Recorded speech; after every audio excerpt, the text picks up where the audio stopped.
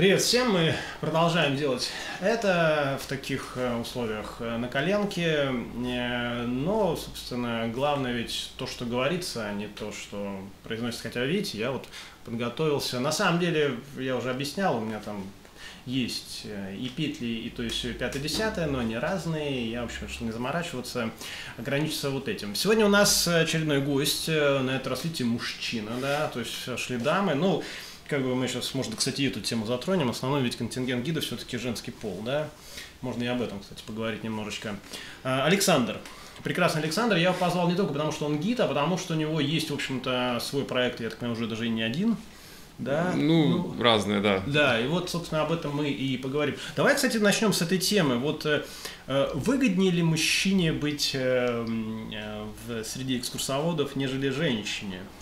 Ну, да, на самом деле это такой давний, давний вопрос э, для меня, э, потому что мне кажется, ну, понятное дело, сейчас позвучат э, обвинения в сексизме и всем прочем, да, но... Ах ты жесткий шовинист. Да, жесткий шовинист, но на самом деле, смотря, конечно, какие категории туристов, но для той категории туристов в основном, которые приезжают к нам, проще быть девушкой. То есть ты э, приезжают да, ну, достаточно уже пожилые люди, вот, дедушки с бабушкой, они видят такую миленькую внученьку с большими ресничками, там глаз, глазенками хлопают. Вот я сейчас вам покажу э, дворечек, посмотрите, вот тут дворечек, а тут вот это. Все, больше ничего не надо. То есть, ну, абсолютно как бы такое им нужна, нужен не гид, да, по большому счету сиделка, да, сиделка или какая-нибудь там приятная девочка, которая с ними вот так вот пощебечет. А, понятное дело, что я, есть много других категорий, которым а, нужно, нужно что-то другое, но вот то, с чем я сталкивался. Сейчас все прекрасные девушки скажут, ах ты, Саша, мы же, мы же столько интересного им рассказываем, look to the left, look to the right, а ты вот нас так взял и втоптал. Я не буду э, спорить, что есть люди, есть девушки, которые знают 50 раз больше, чем я, и могут это рассказать 50 раз лучше, чем я, я не спорю абсолютно, но просто я не раз наблюдал, как бы, когда люди, ну, мягко говоря, они шибко знающие, да, но обладающие некими там а, половыми и внешностными признаками, да, оказываются достаточно востребованными в этом плане. Ну, нет, всем, каждому свое, да, то есть, допустим, официантка может там обслуживать очень плохо, да, но если она там как-то мило улыбается, ей, соответственно, дадут больше чаевых, чаевых чем тому, кто э, там идеально все принесет, но, ну, как бы, вот, извините, рожи там не вышло, я не знаю, что это такое. Ну, я могу привести пример, буквально недавно мне заказали Э, тур для байкеров. Uh-huh. И я в какой-то момент понял, что ну, им нужна на самом деле красивая девушка. Собственно, я ей предложил им, причем девушка знающая мало, я предложил красивую девушку, и байкеры были в экстазе. Естественно, да.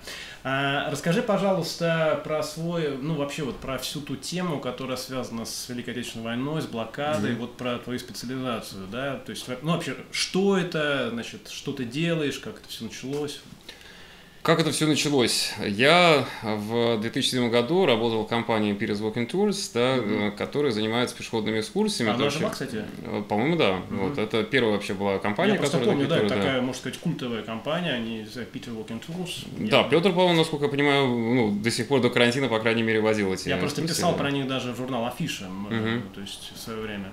Да, и я у них подрядился делать э, тур по блокаде Ленинграда. То есть там была такая схема, что вот я встречаю людей в определенное время, и мы после этого идем в музей, ну, я возил Румянский особняк, mm-hmm. и после этого мы ехали на Площадь Победы mm-hmm. смотреть мемориал. И, э, ну, просто там нужно было, как бы, были такие дежурства у гидов, то есть ты вот приходишь, встречаешь, сколько придет, столько придет, и после, а может вообще никого не прийти. Да, и, да, я помню. Да, и ведешь, да. И я вот все время брал эти туры. Ну, как-то остальным, видимо, это не особенно заходило. Мне понравилось, я так втянулся. А, ну, до этого я там еще на, на, в интернете шарился на всяких военно-исторических форумах, в основном иностранных, и а, все больше и больше втягивался. А, потом а, в 2008 году я подумал, не сделать мне что-то свое. Вот, начал ездить по, а, проехал по дороге жизни, посмотрел себе мемориалы, начал копать информацию, книги в библиотеке, в интернете и так далее. И в, к девятому году сделал сайт свой, где э, этот тур начал предлагать. И так постепенно начались мои поездки. Э, мог бы ты описать э, контингент людей иностранцев, потому что, ну, выражаясь э, рыночным языком, продукт довольно специфический, да, то есть э, ведь, ну, мы не будем тут э, строить из себя целок, и, в общем, люди едут сюда зачем? Романовс, значит, э, Распутин, э, там еще пару пунктов, да, и так далее. Но, блин, блокада Ленинграда это отнюдь не самый топчик, более того, там 98,6% вообще не в курсе, что это было, ну, если говорить про американцев. Кто эти люди?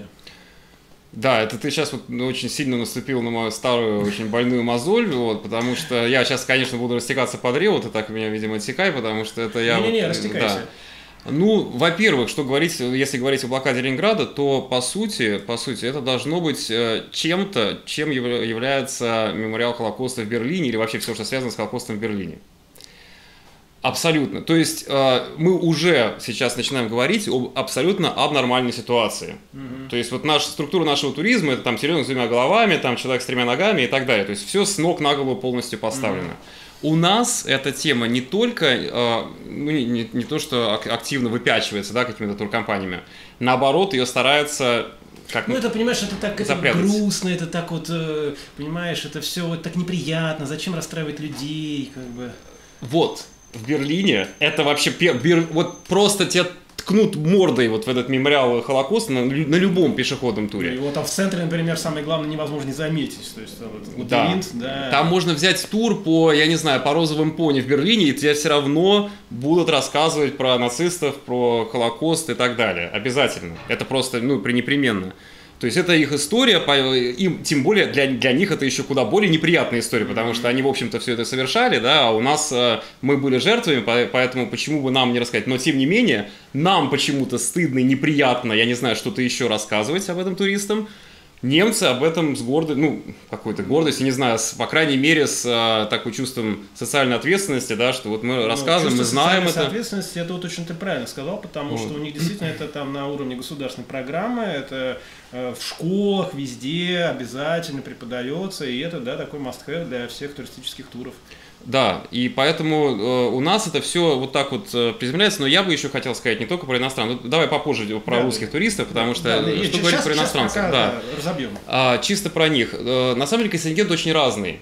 А, Я вот за 10 лет, э, которые, за которые я возил эти туры, я так и не смог четко идентифицировать какую-то вот определенную узкую группу. Есть достаточно много таких одиночных путешественников, которые вот за- задались этой темой, они каким-то образом заинтересовались, и вот они ездят, э, смотрят, им это интересно. Есть семьи, часто, ну, чаще всего бывает, то есть там, допустим, отец э, и, э, и ма- и мать интересуются, да, и вот дети или, допустим, родители хотят детям что-то рассказать. Это американцы, англичане, австралийцы. Я заметил, что довольно непропорциональное количество австралийцев берут такие туры что особо интересно. То есть, понятное дело, что большинство там будут американцы, но как бы в проценте вот количества путешествующих, да, австралийцы составляют, они же, ну, довольно небольшое число, но тем не менее, вот э, они чаще берут. А есть люди к- с какими-то личными историями. Вот у меня была одна американка, которая попросила меня а, специально сделать одну остановку на пути из э, Петербурга в, э, на дорогу жизни. И я говорю, ну, конечно, она пока сказала адрес, Маховая улица, ну, там, в принципе, рядом, проедем потом к Финляндскому и дальше.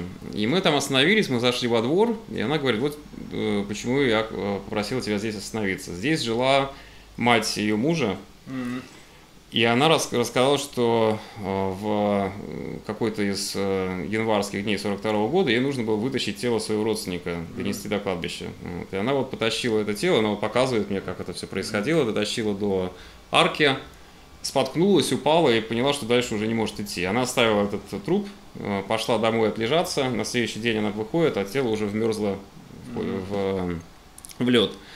И она говорит, что после этого буквально каждый день, когда ей нужно было куда-то выходить, она буквально переступала через труп своего родственника. Ну, вот такие вот личные были истории. Она еще боялась, что это был 14 год, она боялась, что там что-то сделают с американцами. Вот. Но вот мы, мы подъезжаем к а, вот этим бетонным стелам на дороге жизни, рядом с поселком Щеглово, там, и э, смотрим там собрание, а американцам там э, даже в вот travel advisory да, написали, что ни в коем случае, типа, не подходить к группам людей с флагами и так далее. А там, типа, флаги, вот эта птичка, там, типа, Щеглова, там, да, там они стоят с, рус- с русскими флагами.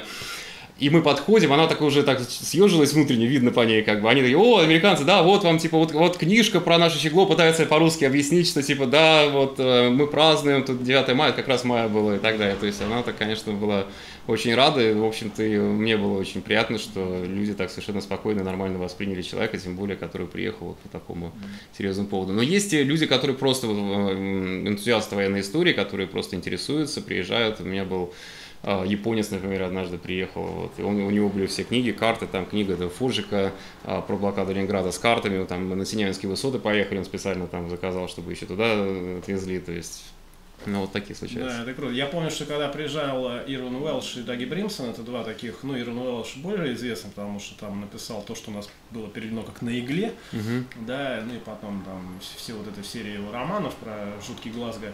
А Даги Бримсон это писатель, который писал про всяких хулиганов футбольных, и сам был такой бульдог, такой лысый, такой, ну, так добродушный, но чувствует, что в молодости мог так заехать, что и он попросил повести его на Пискаревское кладбище, Даги mm-hmm. Бримсон, и это, надо сказать, был просто респект. Тут привозили, не помню, Эксмо, по-моему, издательство, и тогда делал книжный проект, и я очень проникся этим. Я прям вот, я брал у него интервью, и вот прям смотрел на него любовными глазами, думал, вот ты мужик, молодец, да. И, по-моему, уже Тарантино, по-моему, просил его куда-то свозить, я вот не помню, тоже что-то с этим связано. Mm-hmm. То есть, да, Хорошо, э, это что касается иностранных туристов. Давай теперь затронем тему наших.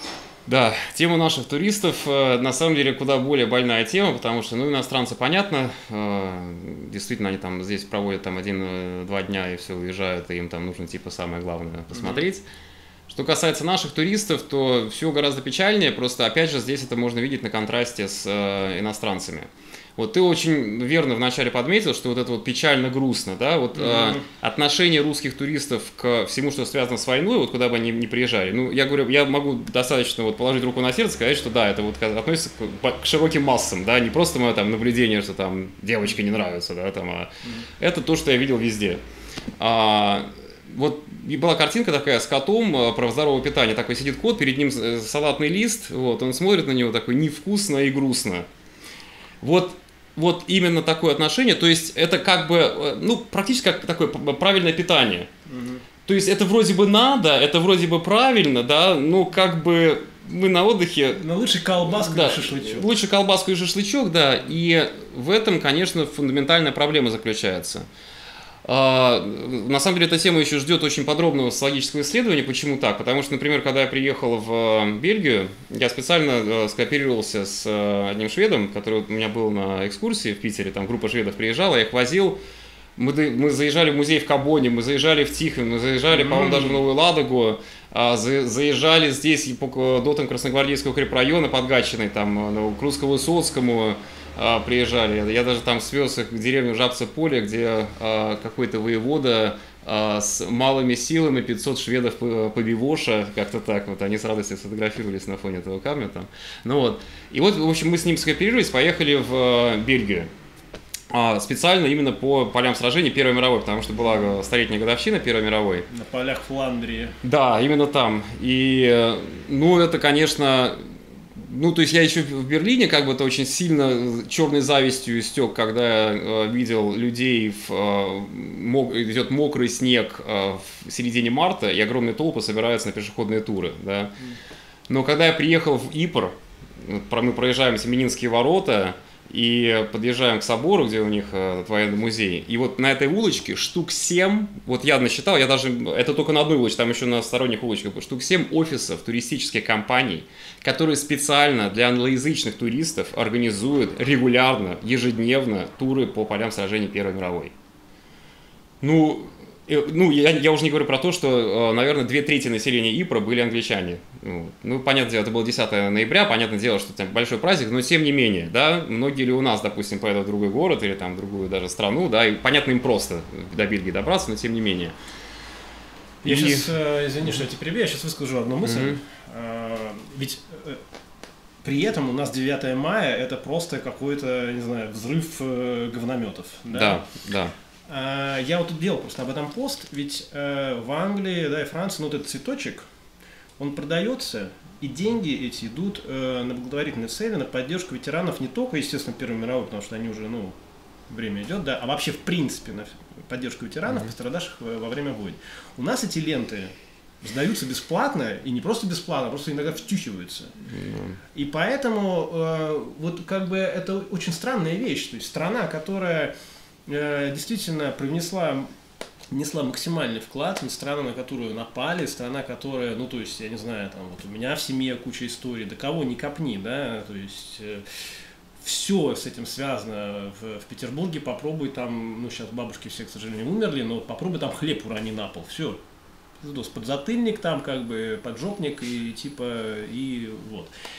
И вот при этом вот, вот такое э, отношения. И э, у людей, мне кажется, просто отсутствует резистенция вот к этой государственной э, пропаганде, которая им пытается что-то навязать. Может, это какая-то натуральная реакция, что они, с одной стороны, понимают, что это священный праздник, а с другой стороны, раз это все вот перерастает в такой, такой какой-то балаган, у них складывается ощущение, что типа, ну это и весело, что сходил там с портретиком, постоял, как бы и ништяк. Ну вот от, отчасти да, я согласен, что действительно там э, государство крайне неумело, крайне, э, ну неловко, это же это очень тонкие вещи, которые mm-hmm. затрагивая которые нужно ну обладать невероятным тактом, э, умом mm-hmm. и ну, такт, такт да. это ключевой момент. Да, у нас, к сожалению, это делается так топорно. Отчасти здесь э, отчасти здесь э, а, проблема в том, что у нас нет вот этих вербальных выразительных средств для того, чтобы описать то, что на самом деле было тогда. То есть советские вот эти вот обороты, они уже устарели морально. Я не буду сейчас касаться... Ой, это очень крутая мысль. Да. Это очень крутая мысль. Я вот тоже думал об этом. Я, ну, то есть я сейчас вообще прихожу к... Ну, просто меня закидают помидорами. Я сейчас mm. думаю над тем, что э, сделать мастер-класс по современной методологии вообще экскурсоводства. Потому что, как бы, ну, реально, я сталкиваюсь с этим постоянно, что, я не знаю, ну, вот эта вещь, она изменила все на белом свете, а большинство гидов старой школы, они это отказываются принимать. И вот то, что ты сейчас сказал про советские обороты, это вот в точку, на самом деле. Да, то есть, причем не просто советские, а вот именно брежневской эпохи обороты, когда лил огненный дождь, плавился металл, но неустрашимые коммунисты. И вот такой вот э, э, как бы литература, на самом деле бюрократический язык, он полностью сковал всю, всю область вот этого, и как знание о войне, так, mm-hmm. ну вот это сведения о войне, которые людям сообщаются, так и сферу рассказов о войне, вот нарратив о войне, он полностью окован вот этими вот фразами. Поэтому, когда люди Э, слышат по экскурсии про войну, они думают, что вот они сейчас сядут в автобус, э, к ним сядет такая безразмерная тетя, и начнет вещать вот таким вот занудным голосом, что да, коммунисты там туда все. Причем, э, что я заметил вот в советских книгах про войну, очень все общо, очень неточно, очень как бы ну вот здесь наши воевали, там... Нету деталей, да. мало истории. Нет, нет истории, да. да. И вот когда приходишь на Невский пятачок и рассказываешь людям, что вот здесь был такой, здесь такой-то блиндаж, а здесь э, люди отстреливали до конца, а здесь был человек, а здесь э, а, там, допустим, Чуровский блиндаж, да, вот фильм сняли как раз э, «Рубеж», поэтому. И подробно рассказываешь, кто где был, э, да, видишь эти обелиски лично, естественно, это проводит какую-то личную связь, и, э, ну, это меняет. Я, естественно, наверное, мне повезло, что в детстве вот все, вся эта информация про, про войну, я, например, где-то до 20, там, не знаю, пять, ну, не знаю, четырех, что ли, или трех лет, я вообще практически не интересовался войной, да, вот мне как-то так внезапно пришло, и я начал уже черпать информацию из других источников, новых, более новых, как бы, да, или сам, сам, сам читать. И поэтому вот эти вот все, когда я сейчас читаю все эти рассказы, ну, старорежимные, что называется, приходится очень много фильтровать, чтобы какую-то информацию там выбрать, потому что остальное вот это вот вода и общие термины. Вот, и да, и что касается русских туристов, то я общался недавно вот с человеком очень э, ну, грамотный, понимающий, абсолютно вменяемый и так далее. Но он говорит, что если бы ко мне приехали родственники да, из другого города и попросили показать Питер, то, например, там Пискаревское кладбище это абсолютно последнее, что я бы вообще мог бы им предложить. И в этом наша очень большая проблема, на самом деле. А, отчасти из-за того, что действительно, вот почему немцам Э, допустим, там вот у них сердце не взрывается и там не, не, не грустно, хотя они, они реально это переживают. Я же общался там со многими гидами в Берлине и э, все это видел, знаю. И почему туристам, которые приезжают, евреям, допустим, евреи в, огромное, э, в огромных количествах приезжают в Берлин, приезжают в, в Аушвиц, приезжают куда угодно, да, и на места э, уничтожения массового евреев. А у нас, по сути, город был каким гигантским лагерем для уничтожения людей, да, посредством голода. Почему они это могут, почему это, им это ну, нормально, это некая работа души у них происходит, почему наши себя стараются от этого защитить всеми возможными способами. Я был в Москве не только в Питере, в Москве я был в начале декабря, по-моему, 2018 года, и со своими московскими друзьями мы пошли в музей обороны Москвы. Вот он про, казалось бы, оборона Москвы, господи, это же вообще там величайшее событие, многие считают его там поворотной точкой в войне. Пусто вообще было. Ну, понятно, ну, может быть, это был какой-то, я не помню, выходной, по-моему, это был, но практически никого. И я не говорю про туристов. То есть вот приехали, опять же, на Поклонный город. То есть людям нужны символы, а не знания, да. Они приезжают на вот этот Поклонный город, смотрят э, этот штык, да, э, там по залам пройдутся, посмотрят диараму и уходят. Вот они совершили некий символический акт, но галочку знание, да, галочку поставили, да. Забыли нахрен. Знание почему-то вот неинтересно. Слушай, да, это, конечно, очень больная тема, и, э, блин, как хорошо, что я ее поднял, потому что я сейчас тоже хочу сделать э, по пару таких туров, вот у меня сейчас пошли вот эти видеоэкскурсии, которых очень хорошо доходят, назвать их «Ленинград не сдается». Mm-hmm. То есть и показать, ну, какие-то хрестоматийные вещи, начиная там с этой господи, трансформаторной этой э, будки на фонтанке, больше mm-hmm. полыня, а дальше уже какие-то менее известные вещи, да, разру... фотографии разрушенных домов, э, истории, которые я сам собирал у бабушек блокадниц, которых я интервьюировал, там я над книгой работал и так далее. А, ну, в общем, да. Скажи теперь, пожалуйста, про... Э, ты мне только что поведал про вот эти виртуальные туры, да? Ну, да. А, ко мне внезапно и случайно совершенно обратилась э, индийская контора, которая, с которой я зарегистрировался там лет 6 назад, и не было ни слуху, ни духу. Я там, по-моему, даже сайт, туры не выкладывал, ну, просто что-то такое когда-то было. Они говорят, привет, вот мы решили виртуальный тур организовать. А, я такой, ну хорошо, давайте, что, что нужно делать? Ну вот давай сначала мы с тобой это в тестовом режиме проведем. И я пришел на Невский, на Невский, на Дворцовую площадь и начал рассказывать им, э, прошелся там подарка генерального штаба, вышел на Невский. На там, телефон, да? Э, да, на телефон, на телефон, да. Сначала даже без гарнитуры был, то есть вот mm-hmm. просто так вот шел, показывал.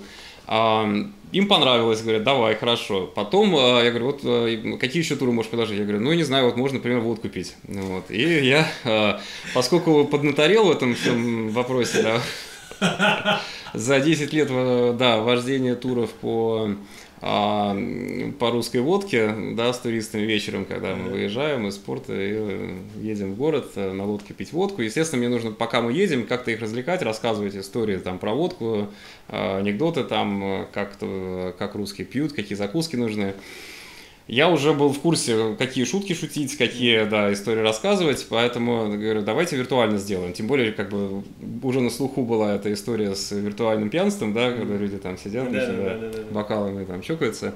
И я э, пошел в, в магазин, купил где-то в этом самом, господи, в Максидоме, по-моему, там что-то по скидке продавались какие-то селедочница, какие-то и корница, вот, и так далее. Вот я это все купил, закупился в ленте селедкой и всем остальным, разложил красивенько на столе. И э, все начинается, ну, сначала тестовый тур провел, да, я сказал, запаситесь водкой, мы сейчас будем пить, как бы. Ну и вот, в общем, э, я раскладываю, говорю, вот так мы пьем, вот, вот так мы закусываем. Вот это вот, смотрите, немедленно, немедленно, мгновенно закусывайте, да, вот вы долго не ждите, типа, вот у меня с американцами часто было, что я а, я им рассказываю, что вот это селед, бутерброд с селедкой, да, вот вы должны его сразу же, сразу же им закусывать они э, американе. То есть все остальные, да, конечно, пьют, закусывают, американцы.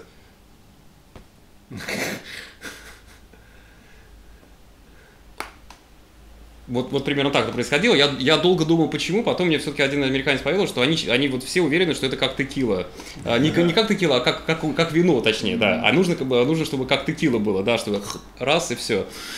Вот, вот такие истории там. У меня была прекрасная история. Я раньше водил в э, рюмочную на разъезжие, mm-hmm. но она такая как бы была из псевдосоветская, то есть как бы вот все, ну, эм, все эти, весь ассортимент был такой очень советский, но при этом такие евроремонт такой с, с обоими в виде газет советских, там типа там сообщающих о подвигах э, рабочего класса.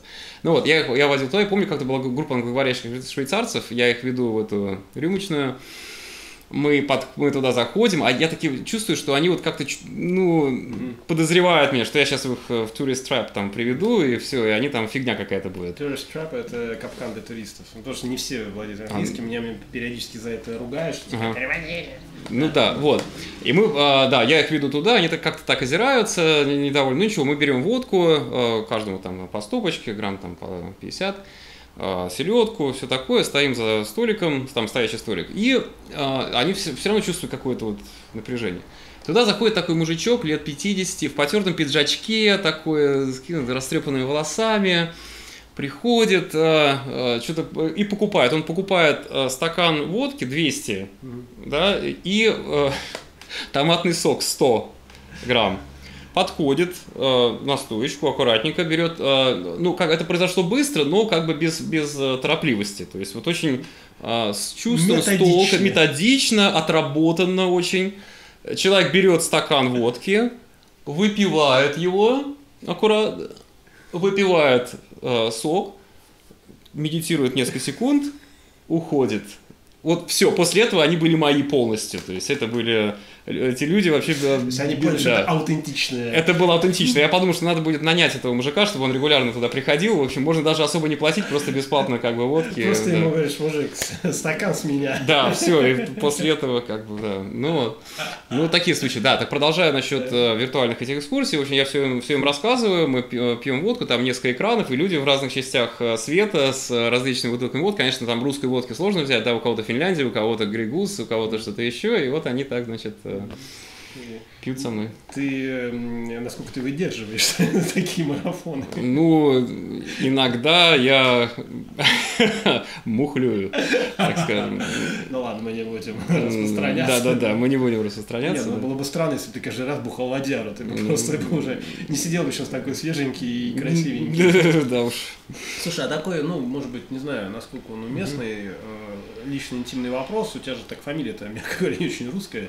Ну да. Да, а ты вот, тем не менее, интересуешься вот этим всем, то есть как у тебя, что у тебя с корнями, расскажи. Ну, у меня дед был немец из mm-hmm. колонии, немецкой колонии mm-hmm. под э, Белой Церковью. Mm-hmm. Он в Питер переехал в 30-м или 31 году.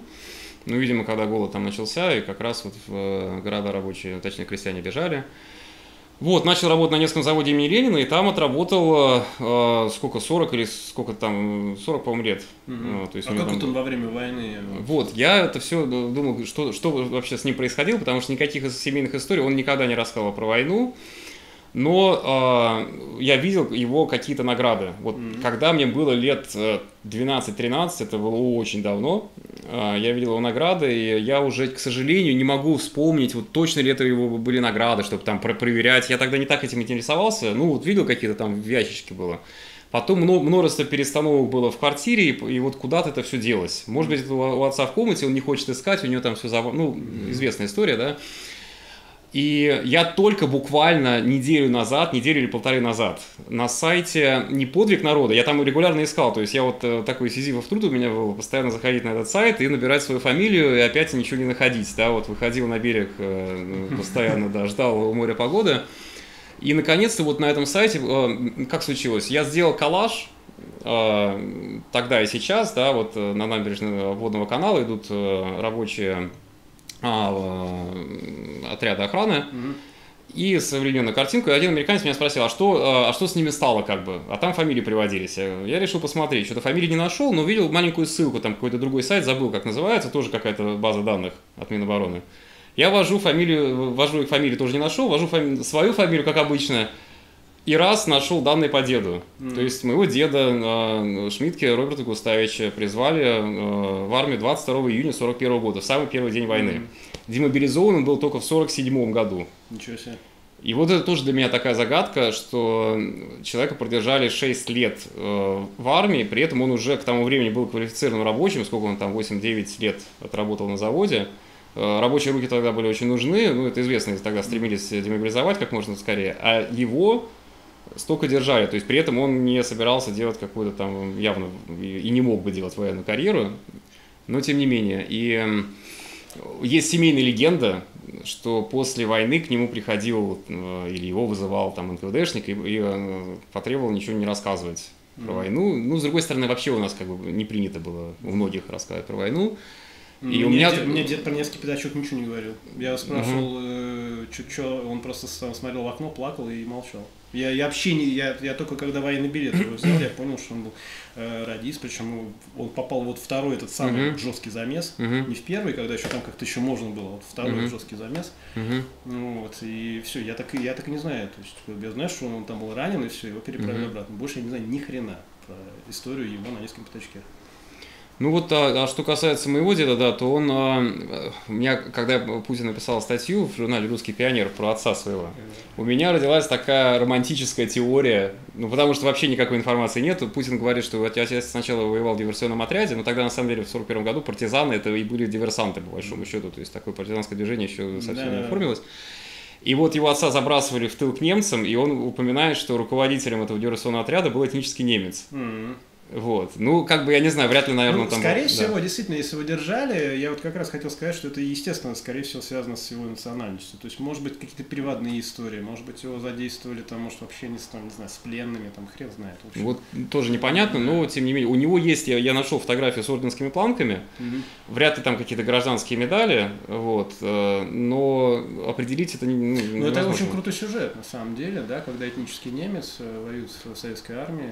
Ну, вот, да, где где он воевал, может быть, он там в тылах сидел, но в любом случае для меня важно было вот точно установить для себя, что он действительно воевал, потому что ну, это какая-то, я на подвиге, мне уже много раз там интернет-эксперты э, говорили, что не, на подвиге народа нет, это все байка, тебе, тебе там придумали, рассказали, этого не было, на самом деле вот... Э.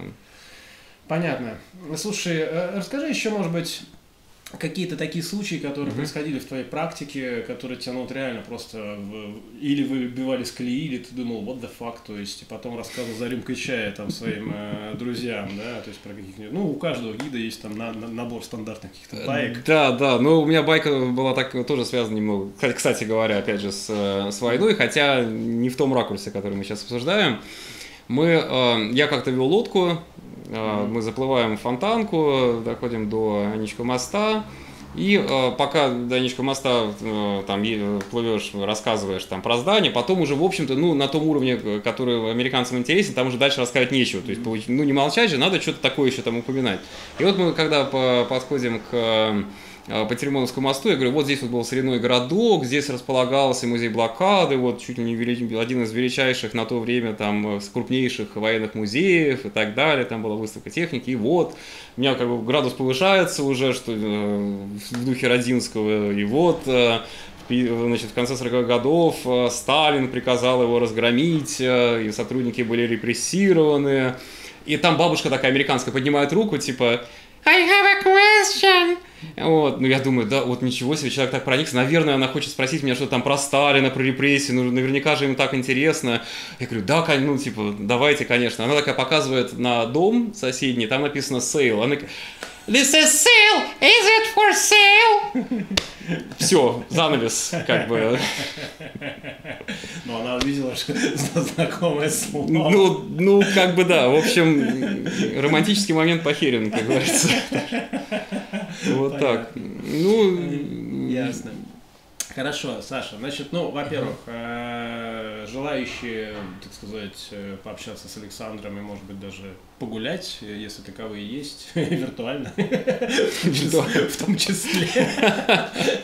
В общем, э, я оставлю, ты мне пришлешь, что надо оставить, там какие-то ссылки, Хорошо. сайт и прочее, и прочее, да. Значит, я напоминаю вам, дорогие друзья, коллеги, не коллеги и прочее, если вы гид, экскурсовод, у вас есть что рассказать интересного, вы можете обращаться, с удовольствием с вами встречусь, возьму интервью. У нас будет следующий очень интересный гость, пока не буду анонсировать его. Вот. Но все, все мои мероприятия тоже есть там внизу по ссылкам, оставляйте комментарии, увидимся еще. Тебе удачи. Спасибо. Пока.